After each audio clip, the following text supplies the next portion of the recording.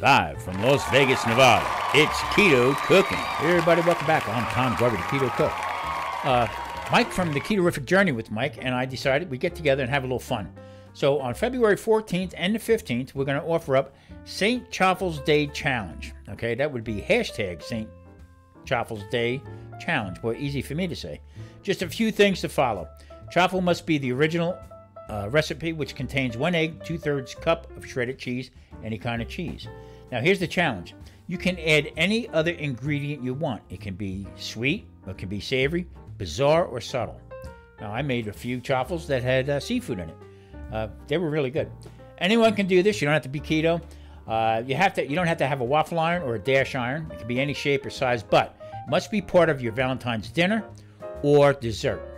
And if you could, somewhere in your thumbnail or in the video itself, please mention Tom Garvey, the Keto Cook, and also the Ketorific Journey with Mike. Once again, that's hashtag St. Chaffles Day Challenge. And if you have any questions, leave them in the comments down below. I'll talk to you later.